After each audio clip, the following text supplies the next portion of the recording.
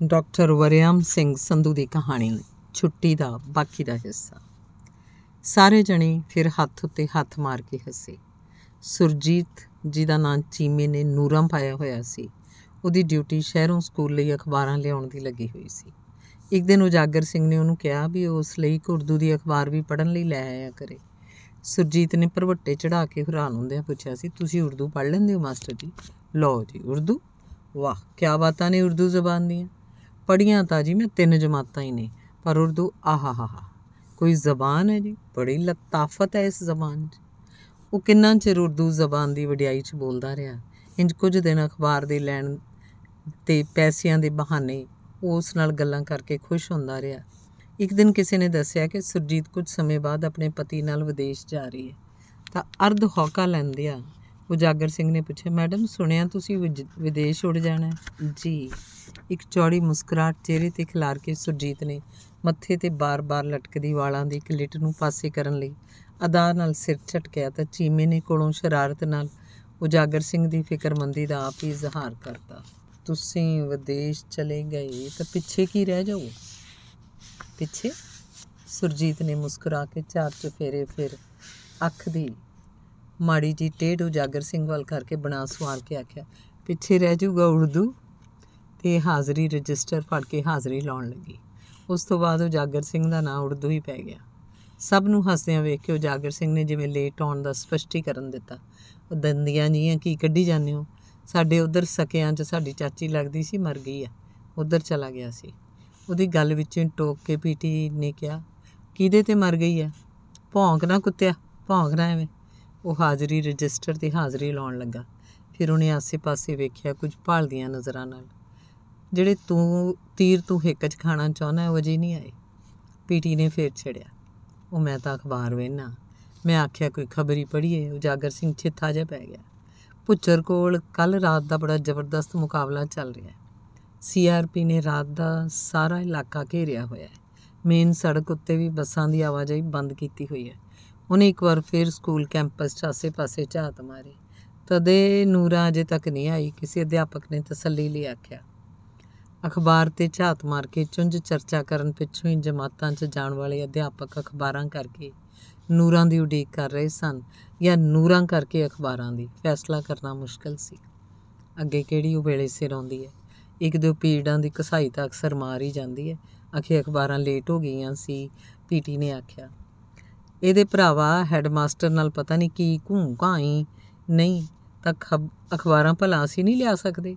ਸ਼ਹਿਰੀਏ master ਦਰਸ਼ਨ ਨੇ ਇੱਕ ਦਿਨ ਆਖਿਆ, ਤਾਂ ਬਿਮਲਾ ਭੈਣ ਜੀ ਹੱਸ ਪਈ ਸੀ। ਘੂੰ ਘਾਂ ਖੇਤੇ ਸਵਾਹ ਹੋਣੀ ਹੈ ਇਹਦਾ ਘਰ ਵਾਲਾ ਬਾਹਰੋਂ ਚੀਜ਼ਾਂ ਵਸਤਾਂ ਭੇਜਦਾ ਰਹਿੰਦਾ ਹੈ ਕਦੀ ਕੋਈ ਸੂਟ, ਕਦੀ ਕੋਈ ਪੈਨ ਜਾਂ ਪਰਫਿਊਮ ਦੇ ਛੱਡਦੀ ਹੈ ਹੋਰ ਕੀ। ਇਹ ਤੋਹਫੇ ਦੇ ਛੱਡਦੀ ਹੈ ਫਰਲੋ ਦੇ ਛੱਡਦਾ ਉਂਝ ਭੈਣ ਜੀ, ਜਿਸ ਗੋਚਰੀ ਗਰਜ਼ ਹੁੰਦੀ ਹੈ ਉਹਨੂੰ ਇਹ ਕਿਵੇਂ ਹੱਥਾਂ ਉੱਤੇ ਪਾ ਲੈਂਦੀ ਹੈ ਪਤਾ ਨਹੀਂ ਕਿਹੜੀ ਗਿੱਦੜ ਸਿੰਘੀ ਹੈ ਇਹਦੇ ਕੋਲ। ਆਪਣਾ ਭਾ ਬਲਦੇਵ ਸਿੰਘ ਵੀਰ ਜੀ, ਅਖਵਾ, ਵੀਰ ਜੀ ਅਖਵਾ ਕੇ ਹੀ ਫੁੱਲਿਆ ਰਹਿੰਦਾ ਪੀਟੀ ਮਾਸਟਰ ਦੀ ਗੱਲ ਨੂੰ ਰੱਦ ਕਰਦਿਆਂ ਬਿਮਲਾ ਨੇ ਸਿਰਫ ਇੰਨਾ ਹੀ ਆਖਿਆ, ਨਹੀਂ ਭਰਾ ਜੀ, ਐਸੀ ਗੱਲ ਵੀ ਨਹੀਂ। ਭਾਵੇਂ ਪੀਟੀ ਮਾਸਟਰ ਦਾ ਇਸ਼ਾਰਾ ਇਸ ਗੱਲ ਵੱਲ ਸੀ ਕਿ ਹੈਡਮਾਸਟਰ ਤੋਂ ਪਿੱਛੋਂ ਸਕੂਲ ਦਾ ਇੰਚਾਰਜ ਬਲਦੇਵ ਸਿੰਘ ਹੋਣ ਕਰਕੇ ਉਹਨੇ ਇਹਨੂੰ ਵੀਰ ਜੀ ਆਖਣ ਵਾਲੀ ਨੀਤੀ ਅਪਣਾਈ ਸੀ, ਪਰ ਬਿਮਲਾ ਉਸ ਰਾਏ ਨਾਲ ਸਹਿਮਤ ਨਹੀਂ ਸੀ। ਬਲਦੇਵ ਭਾਜੀ ਦੇ ਮੁੰਡੇ ਨਾਲ ਕਿੰਨਾ ਕਰਦੀ ਰਹੀ ਆ ਉਹ? ਸਾਰੇ ਜਾਣਦੇ ਸੀ ਜਦੋਂ 9ਵੀਂ 10ਵੀਂ 'ਚੋਂ 2 ਸਾਲ ਕੁਲਜੀਤ ਦੀ ਜਮਾਤ ਦੀ ਇੰਚਾਰਜ ਰਹੀ ਤਾਂ ਉਹਨੇ ਉਹ ਤੋਂ ਕਦੀ ਫੀਸ ਨਹੀਂ ਸੀ ਵਸੂਲੀ। ਆਖਦੀ ਸੀ, ਭਲਾ ਕੋਈ ਭੂਆ ਆਪਣੇ ਭਤੀਜੇ ਦੀ ਫੀਸ ਤੇ 5-10 ਰੁਪਏ ਉਹ ਤੋਂ ਲੈਂਦੀ ਚੰਗੀ ਲੱਗਦੀ ਹੈ ਤੇ ਉਦੋਂ ਹੀ ਸਭ ਦੀ ਜਾਨ ਕੜਿੱਕੀ 'ਚ ਫਸ ਗਈ ਸੀ, ਜਦੋਂ ਸਕੂਲ ਦੇ ਮੁੰਡਿਆਂ ਨੇ ਪੁਲਿਸ ਮੁਕਾਬਲੇ 'ਚ ਸ਼ਹੀਦ ਹੋਏ ਸਿੰਘਾਂ ਦੀ ਯਾਦ ਵਿੱਚ ਸਕੂਲੇ ਅਖੰਡ ਪਾਠ ਰਖਾਉਣ ਦਾ ਪ੍ਰੋਗਰਾਮ ਬਣਾ ਲਿਆ। ਹਿੰਦੂ ਹੋਣ ਕਰਕੇ ਹੈੱਡਮਾਸਟਰ ਵਿਚਾਰਾ ਸਰਕਾਰ ਤੇ ਪੁਲਿਸ ਵੱਲੋਂ ਐਕਸ਼ਨ ਲਏ ਜਾਣ ਤੋਂ ਡਰਦਾ ਸੀ। ਸਕੂਲ 'ਚ ਸਭ ਤੋਂ ਵੱਧ ਆਦਰ ਮਾਣ ਮੁੰਡੇ ਬਲਦੇਵ ਸਿੰਘ ਦਾ ਕਰਦੇ ਸੀ। ਪਰ ਅੱਗੇ ਆਗੂਆਂ 'ਚ ਤਾਂ ਖੁਦ ਕੁਲਜੀਤ ਸੀ ਉਹਦਾ ਆਪਣਾ ਮੁੰਡਾ। ਉਹ ਕੁਲਜੀਤ ਨੂੰ ਕੀ ਆਖੇ? ਆਪ ਹਾਣੀ ਪੁੱਤ ਮਾਹੌਲ ਦੀ ਗਰਮ ਹਵਾ ਨਾਲ ਭਰਿਆ ਹੋਇਆ। ਹਰ ਮਹੀਨੇ ਕੋਈ ਨਾ ਕੋਈ ਮੁਕਾਬਲਾ ਹੋਇਆ ਰਹਿੰਦਾ ਸੀ। ਉਹਨਾਂ ਦੇ ਭੋਗ ਤੱਕ ਸਭ ਕੁਝ ਬੰਦ ਕਰਨ ਦੇ ਇਸ਼ਤਿਹਾਰ ਕੰਧਾਂ ਤੇ ਚਿਪਕਾ ਦਿੱਤੇ ਜਾਂਦੇ ਸੀ। ਬਾਜ਼ਾਰ, ਸਕੂਲ, ਬੈਂਕ, ਹੋਰ ਸਰਕਾਰੀ ਅਦਾਰੇ ਕਈ ਕਈ ਦਿਨ ਬੰਦ ਰਹਿੰਦੇ। ਬਲਦੇਵ ਸਿੰਘ ਮੁੰਡਿਆਂ ਨੂੰ ਆਖਦਾ, ਓਏ, ਉੱਪਰਲੇ ਤਾਂ ਅੱਗੇ ਹੀ ਚਾਹੁੰਦੇ ਨੇ ਵੀ ਤੁਸੀਂ ਅਨਪੜ੍ਹ ਰਹੋ ਤੇ ਉਹ ਰਾਜ ਕਰਦੇ ਰਹਿਣ ਮੂਰਖਾਂ ਉੱਤੇ। ਲੁੱਟਦੇ ਰਹਿਣ ਤੁਸੀਂ ਕਿਉਂ ਸਕੂਲਾਂ ਨੂੰ ਬੰਦ ਕਰਕੇ ਆਪਣੇ ਮਨਾਂ ਦੇ ਬੂਹੇ ਬੰਦ ਕਰਦੇ ਹੋ? ਹੁਣ ਉਹਦੇ ਆਪਣੇ ਮੁੰਡੇ ਦੇ ਮਨ ਦਾ ਬੂਹਾ ਬੰਦ ਹੋ ਚੱਲਿਆ ਸੀ। ਇਹ ਹੁਣ ਸਾਨੂੰ ਹਵਾਲਾ 'ਚ ਬੰਦ ਕਰਾਓ ਕਿਸੇ ਭੈਣ ਜੀ ਨੇ ਕਿਹਾ ਤਾਂ ਸੁਰਜੀਤ ਨੇ ਕੁਲਜੀਤ ਨੂੰ ਕੋਲ ਬੁਲਾ ਕੇ ਸਮਝਾਇਆ, ਮੈਡਮ, ਕਿਸੇ ਦੀ ਜ਼ਰੂਰਤ ਨਹੀਂ, ਤੁਹਾਡੀ ਵਾਹ ਵੱਲ ਵੀ ਵੇਖ ਜੇ ਕੋਈ। ਮੁੰਡਾ ਪੂਰੇ ਵਿਸ਼ਵਾਸ ਤੇ ਮਾਣ ਨਾਲ ਬੋਲਿਆ, ਮੈਡਮ, ਨਹੀਂ, ਮੈਂ ਭੂਆ ਵਾਂ ਤੇਰੀ। ਸੁਰਜੀਤ ਦੇ ਬੋਲਾਂ 'ਚ ਹੰਮਾ ਸੀ। ਅੱਛਾ ਭੂਆ ਜੀ। ਮੁੰਡੇ ਨੇ ਮੁਸਕਰਾ ਕੇ ਉਹਦੇ ਗੋਡਿਆਂ ਨੂੰ ਛੂਇਆ ਜੇ ਭੂਆ ਮੰਨਦਾ ਤੇ ਮੇਰਾ ਮਾਣ ਰੱਖ, ਮੇਰੇ ਆਖੇ ਲੱਗ। ਸੱਚਮੁੱਚ ਉਹਨੇ ਭੂਆ ਦਾ ਮਾਣ ਰੱਖ ਲਿਆ ਸੀ। ਸਕੂਲ 'ਚ ਅਖੰਡ ਪਾਠ ਦਾ ਭੋਗ ਤਾਂ ਫਿਰ ਵੀ ਪਿਆ, ਪਰ ਹੁਣ ਅਰਦਾਸ ਕੇਵਲ ਇਮਤਿਹਾਨਾਂ 'ਚੋਂ ਸਫਲਤਾ ਪ੍ਰਾਪਤ ਕਰਨ ਦੀ ਹੋਈ। ਪਰ ਹੁਣ ਅਰਦਾਸ ਇਮਤਿਹਾਨਾਂ 'ਚੋਂ ਕੇਵਲ ਸਫ- ਸਫਲਤਾ ਪ੍ਰਾਪਤ ਕਰਨ ਦੀ ਹੋਈ। ਸਾਰਾ ਸਟਾਫ ਮੁਸ਼ਕਲ ਦੇ ਮੂੰਹ ਪੈਣੋਂ ਬਚ ਗਿਆ। ਦਸਵੀਂ 'ਚੋਂ ਪਾਸ ਹੋਇਆ ਕੁਲਜੀਤ ਲੱਡੂਆਂ ਦਾ ਡੱਬਾ ਲੈ ਕੇ ਆਇਆ ਤੇ ਸਭ ਦੇ ਸਾਹਮਣੇ ਸੁਰਜੀਤ ਦੇ ਗੋਡਿਆਂ ਨੂੰ ਹੱਥ ਲਾ ਕੇ ਆਖਿਆ ਸੀ, ਭੂਆ ਜੀ ਤੁਹਾਡੀਆਂ ਝਿੜਕਾਂ ਤੇ ਪਿਆਰ ਨਹੀਂ ਮੈਨੂੰ ਸੜਕੇ ਸੜਕ ਤੋਰੀ ਰੱਖਿਆ, ਨਹੀਂ ਤਾਂ ਸੁਰਜੀਤ ਨੇ ਉਹਨੂੰ ਸਿਰ ਤੇ ਪਿਆਰ ਦਿੱਤਾ, ਵੱਖੀ ਨਾਲ ਘੁੱਟ ਕੇ ਆਖਿਆ ਸੀ, ਜਿਉਂਦਾ ਰਹੋ, ਲੰਮੀਆਂ ਉਮਰਾਂ ਹੋਣ ਕੱਲ ਆਵੀਂ, ਮੈਂ ਤੇਰੇ ਲਈ ਬਾਹਰੋਂ ਟਰੈਕ ਸੂਟ ਮੰਗਵਾਇਆ ਲੈ ਜਾਈ। ਅਜੇ ਤੱਕ ਵੀ ਸੁਰਜੀਤ ਸਮੇਤ ਸ਼ਹਿਰ ਦੇ ਅਧਿਆਪਕ ਨਹੀਂ ਸੀ ਪਹੁੰਚੇ। ਨਾ ਮੁੱਖ ਅਧਿਆਪਕ ਆਇਆ ਸੀ, ਮੁੰਡੇ ਸ਼ੋਰ ਮਚਾਉਂਦੇ ਦਗੜ ਦਗੜ ਕਰਦੇ ਭੱਜੇ ਫਿਰਦੇ ਸੀ। ਧਾੜ ਦੀ ਧਾੜ ਸਕੂਲ ਦੀ ਬਾਹਰਲੀ ਚਾਰਦੀਵਾਰੀ ਤੇ ਚੜੀ ਰਸਤੇ 'ਚੋਂ ਲੰਘ ਰਹੇ ਪਿੰਡ ਵਾਸੀਆਂ ਨਾਲ ਚਿੱਗੀਆਂ ਕਰ ਰਹੀ ਸੀ। ਕੁਝ ਚਿਰ ਪਹਿਲਾਂ ਅੱਗੇ ਲੰਘੀਆਂ ਪੁਲਿਸ ਦੀਆਂ ਗੱਡੀਆਂ ਮੋੜ ਆਈਆਂ। ਸਕੂਲ ਦੇ ਗੋਟ ਗੇਟ ਕੋਲ ਆ ਕੇ ਰੁਕ ਗਈਆਂ। ਵਿੱਚੋਂ ਵਰਦੀਧਾਰੀ ਉਤਰੇ। ਉਹਨਾਂ ਨਾਲ ਪਿੰਡ ਦਾ ਸਰਪੰਚ ਵੀ ਸੀ। ਦਰਵਾਜ਼ਾ ਲੰਘਦਿਆਂ ਹੀ ਸਰਪੰਚ ਨੇ ਸਾਹਮਣੇ ਦੇ ਸਾਏ ਕਿਸੇ ਮੁੰਡੇ ਨਾਲ ਕੋਈ ਗੱਲ ਕੀਤੀ। ਮੁੰਡੇ ਨੇ ਅੱਗੋਂ ਕੋਈ ਜਵਾਬ ਦਿੱਤਾ ਤੇ ਫਿਰ ਜਿਵੇਂ ਸਰਪੰਚ ਦੇ ਕਹਿਣ ਉੱਤੇ ਉਹ ਕਿਸੇ ਨੂੰ ਬੁਲਾਉਣ ਲਈ ਕਲਾਸਰੂਮ ਵੱਲ ਤੁਰ ਪਏ ਸਰਪੰਚ ਸੀਆਰਪੀਐਫ ਦੇ ਇੰਸਪੈਕਟਰ ਤੇ ਪੰਜ ਛੇ ਪੁਲਸੀਆਂ ਸਮੇਤ ਦਫ਼ਤਰ ਨੂੰ ਹੋ ਤੁਰਿਆ। ਅਧਿਆਪਕਾਂ ਨਾਲ ਸਾਹਿਬ ਸਲਾਮ ਹੋਏ ਤੇ ਸਾਰੇ ਜਣੇ ਦਫ਼ਤਰ ਦੀਆਂ ਕੁਰਸੀਆਂ 'ਚ ਸੱਜ ਗਏ।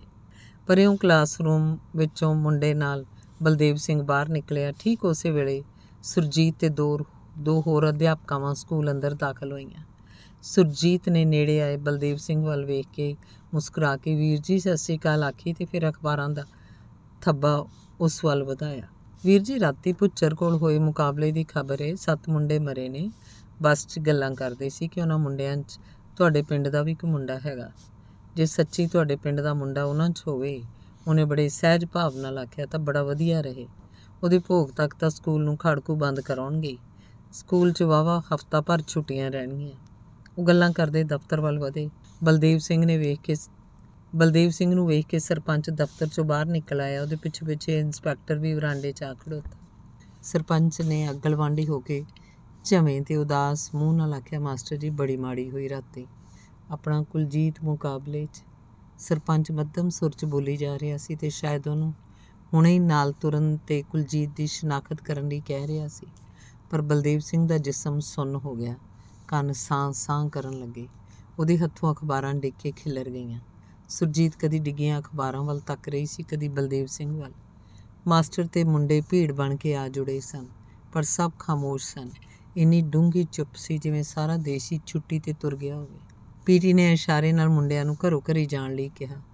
ਲਾਗੇ ਆਖੜ ਉੱਤੇ ਸਤਪਾਲ ਨੇ ਸਾਰੇ ਮਾਸਟਰਾਂ ਵੱਲ ਮੂੰਹ ਕਰਕੇ ਚੁੱਪ ਤੋੜਦਿਆਂ ਪੁੱਛਿਆ "ਮ- ਮਾਸਟਰ ਜੀ ਕੱਲ ਛੁੱਟੀ ਕਿ ਸਸਕੂ ਲੱਗੂਗਾ? ਚਲੋ ਚੱਲ। ਪੀਟੀ ਨੇ ਉਹਨੂੰ ਝਿੜਕਿਆ। ਬਲਦੇਵ ਸਿੰਘ ਆਖਣਾ ਤਾਂ ਚਾਹੁੰਦਾ ਸੀ ਕਿ ਕੱਲ ਸਕੂਲ ਲੱਗੇਗਾ, ਪਰ ਉਹਦੇ ਮੂੰਹ ਆਵਾਜ਼ ਨਾ ਨਿਕਲ ਸਕੀ। ਧੰਨਵਾਦ।